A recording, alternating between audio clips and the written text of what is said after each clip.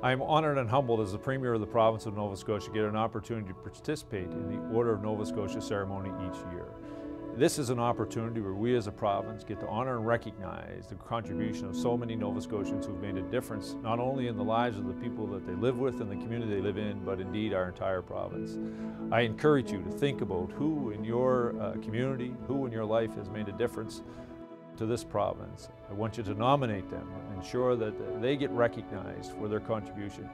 As the son of one of the recipients, in 2005 my mother Teresa was honored by the province of Nova Scotia. It was not only an honor for her, but for her children and the entire community. We celebrated the honor that was bestowed on, on her. I encourage you to do that for the people who made a difference in your life so that we can celebrate the tremendous Nova Scotians who have built this great province.